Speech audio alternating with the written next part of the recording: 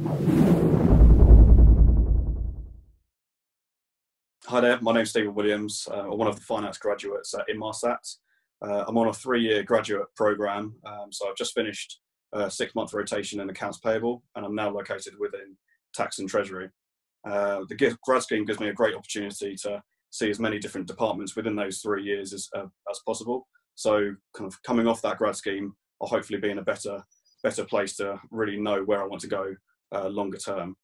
Um, so what do I do on a day-to-day basis? Um, in accounts payable, I was processing invoices.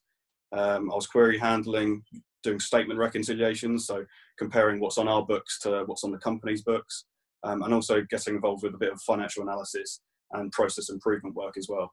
Um, I've just been in, uh, I'm now in tax and treasury, um, so I've been there for just over a week, so it's very kind of fresh for me, but so far I've got involved with uh, kind of tax rates, international tax rates, uh, compliance, and I'm also getting involved with um, kind of investor relations, which is quite interesting as well.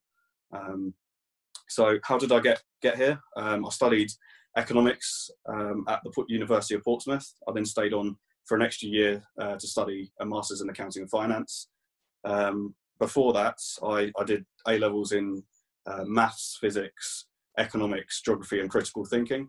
Um, and yeah, I've, I've had a kind of a broad range of jobs ranging from kind of finance, retail, um, and sales as well. So um, I think that's really helped me kind of get hit the ground running in this in this new rotation, which demands a lot of flexibility and the skills that are required. If I was going to give myself one piece of advice, um, it would probably be to take as many opportunities as possible. Um, so not only from um, an educational um, perspective, um, kind of getting involved with um, like various different projects and so forth, and um, kind of doing bits of training, which is going to help uh, develop you as a as a kind of professional, um, but also from a from a personal perspective. So getting involved with societies, uh, clubs, and kind of uh, uh yeah, different teams. Playing part of a team kind of really helps, um, like yeah, teamwork skills, communication skills, um, and also um, if you have the opportunity to go go traveling at some point. Um, so for me, uh, going going traveling for six months really helped.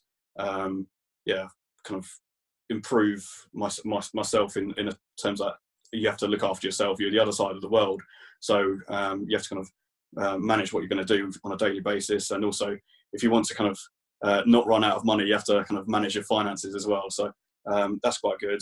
Um, and also, I think um, to a certain extent, when I was coming out of university, I was a little bit blinkered by only looking at finance firms. So um, I was looking at the kind of like top four accounting firms, top six.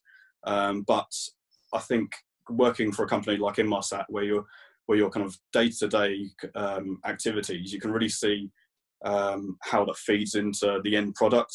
And um, getting involved with a company that helps put rockets and satellites up into space is really cool, and it helps kind of motivate as well. So instead of crunching numbers day in day out and not seeing kind of uh, what it helps to achieve, um, I think being in an industry um, kind of not really related to, to finance, but still within a finance role is quite quite rewarding.